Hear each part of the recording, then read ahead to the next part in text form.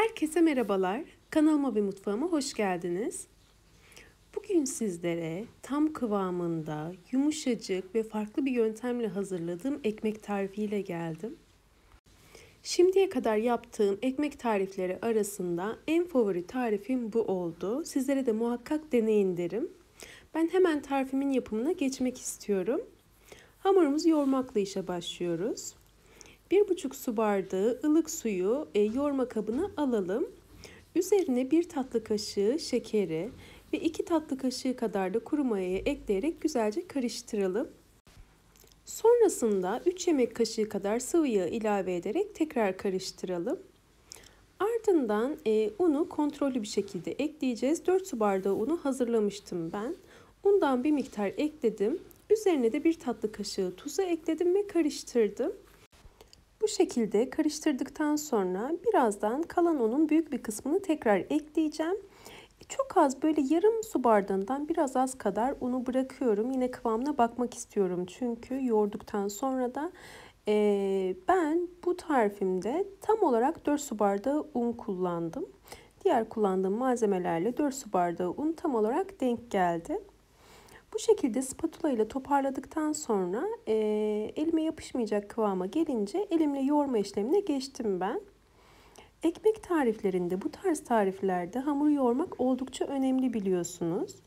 E, ben spatula ile karıştırma işlemini bitirdikten sonra yoğurmaya başladıktan sonra hamurum tamamen böyle pürüzsüz hale gelinceye kadar güzelce birkaç dakika boyunca yoğurdum. Birazdan kıvamını göreceksiniz sizler de. Yoğurmaya devam ettikçe hamurun kalitesi artıyor zaten. Gözle görülür bir şekilde fark ediliyor. Bu da bunun için ekmek ve benzeri tarifler yaparken yoğurma işlemini uzun tutmanızı öneririm. Böylelikle ekmeğiniz çok daha güzel olacaktır.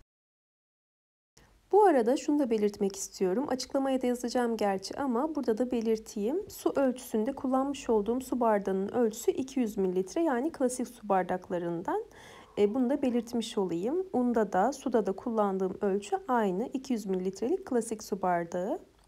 Ben birkaç dakika boyunca hamurumu çok güzel bir şekilde yoğurdum ve gördüğünüz gibi kıvamı harika oldu.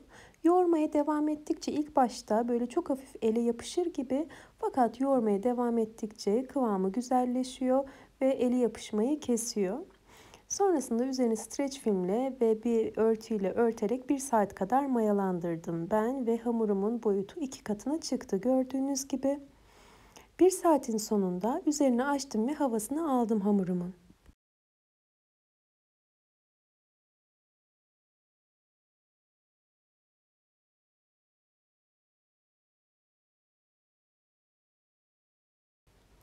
Hamurumuzu tezgaha alabiliriz. Tezgahı çok hafif unlayalım. Çünkü hamurumuz çok hafif ele yapışan kıvamda. Çok cıvık değil anlaşılıyor zaten.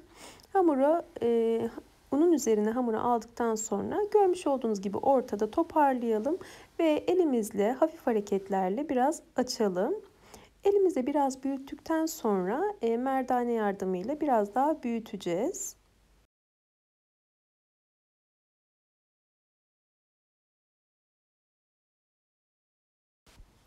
Merdane ile de çok fazla inceltmemize gerek yok. Bu şekilde kare formunda açmaya çalışalım.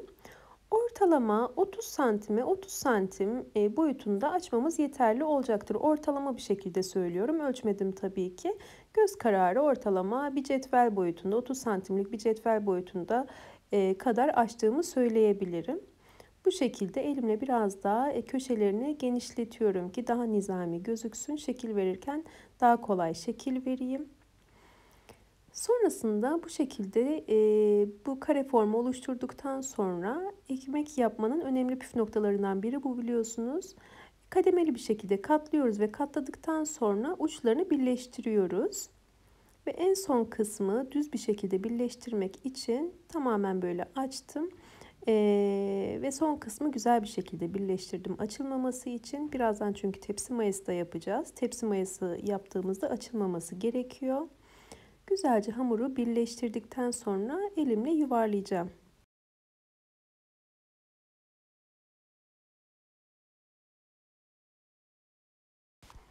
Hamurumuzun uç kısımlarını da güzelce toparlayalım. Güzel bir görüntüsü olsun, nizami görünsün. Sonrasında keskin bir bıçakla ya da temiz bir jiletle üzerine çizikler atalım.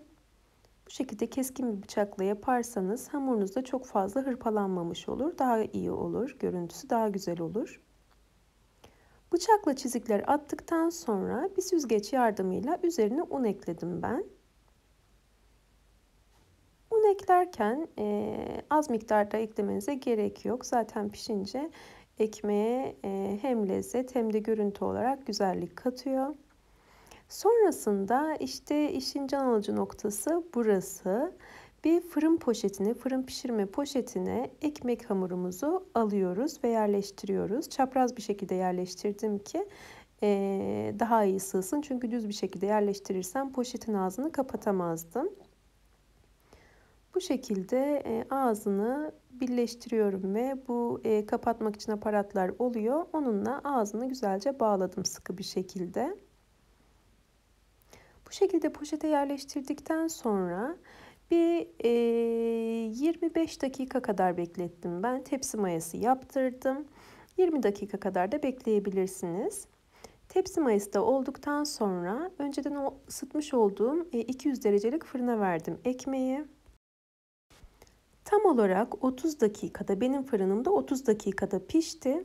Üzeri bu şekilde güzelce kızarınca fırından alabilirsiniz. Fırından çıkarınca poşetten alabiliriz. İlk sıcağı çıktıktan sonra böyle bir fırça yardımıyla üzerindeki fazla unu e, alalım. Ardından ekmeğimizi dilimleyeceğiz.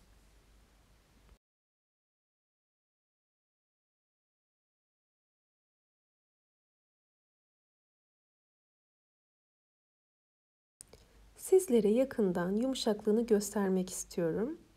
Normalde ekmek yaparken biliyorsunuz üstü açık bir şekilde yaptığımızda fırının içerisine su koyuyoruz ki çok fazla kurumasın ekmek. Bu şekilde poşetin içinde buharıyla piştiği için yumuşacık oluyor inanın. Ee, ben bu tarifi gerçekten çok beğendim. Kesinlikle sizlere de denemenizi öneririm. Şöyle iç dokusunu da göstermek istiyorum. Kesinlikle hiçbir şekilde bir kuruluk olmuyor. Yumuşacık oluyor. Bir defa denediğiniz takdirde zaten e, bana hak vereceğinize eminim. Umarım tarifimi denersiniz ve beğenirsiniz. Eğer tarifimi buraya kadar izlediyseniz ve beğendiyseniz aşağıda yer alan beğen butonuna tıklarsanız çok mutlu olurum. Ve hala kanalıma abone değilseniz yine aşağıda yer alan abone ol butonuna tıklarsanız ve yanındaki bildirim ziline basarsanız yeni tariflerimden anında haberdar olabilirsiniz. Yeni tariflerde buluşmak ümidiyle sağlıkla ve afiyetle kalın. Hoşça kalın.